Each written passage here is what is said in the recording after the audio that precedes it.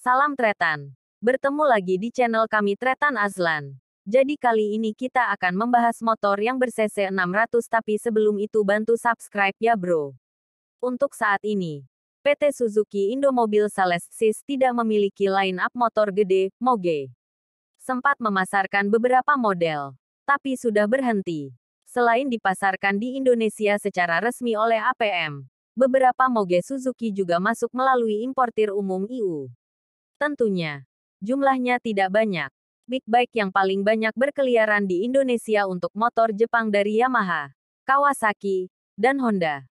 Tapi, mayoritas tetap Kawasaki. Sedangkan GSX-R 600, unitnya tidak banyak di Indonesia. Kalau yang sport bike, GSX paling laris itu yang K8. Itu pembuatannya tahun 2008.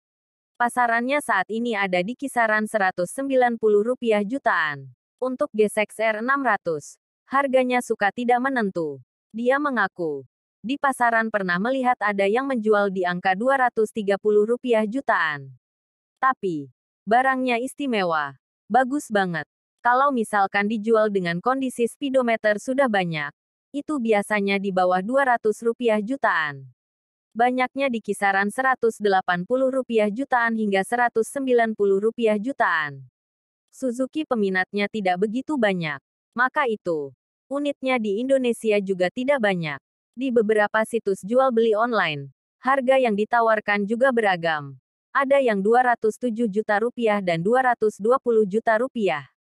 Keduanya dijual dengan kondisi full paper alias surat-surat lengkap. GSX-R 600 sendiri masuk ke Indonesia hanya melalui EU. Sebab, Moge yang dipasarkan oleh PT SIS saat itu hanya Vestrom 650, GSR 750, dan GSX 1300R Hayabusa. Terima kasih dan semoga bermanfaat ya bro. Mator Sakala